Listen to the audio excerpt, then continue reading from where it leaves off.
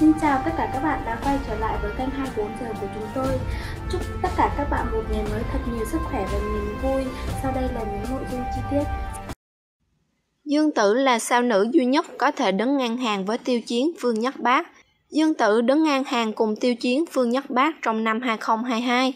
Sau khi thành công của hương mật tự khói xương và cá hầm mật, Dương Tử trở thành đỉnh lưu lượng top đầu lứa 9X cùng địch lệ nhiệt ba.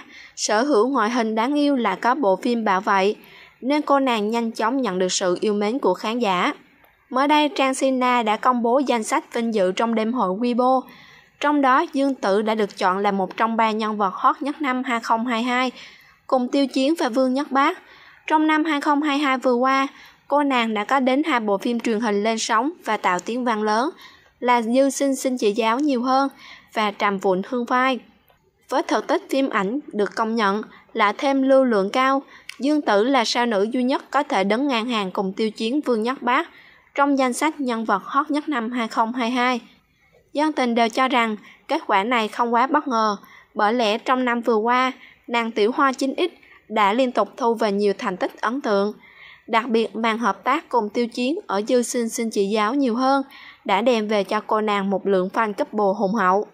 Dương Tử với việc trở thành một trong ba nhân vật hot nhất năm 2022, cạnh tiêu chiến Vương Nhất Bác, khán giả hy vọng sẽ thấy cả ba đứng trên sân khấu nhận giải. Tuy nhiên bên cạnh đó cũng có không ít người bày tỏ lo ngại, vì cũng là đỉnh lưu lượng nên việc xuất hiện cạnh nhau sẽ tạo ra những tin tức, thậm chí là các cuộc chiến giữa các fan trên diễn đàn mạng.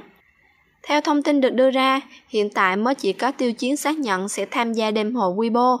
Phía Dương Tử và Vương Nhất Bác vẫn chưa có phản hồi chính thức về việc có tham gia sự kiện này hay không.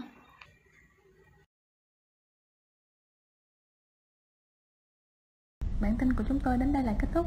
Cảm ơn các bạn đã quan tâm theo dõi. Hẹn gặp lại các bạn ở những tin tiếp theo.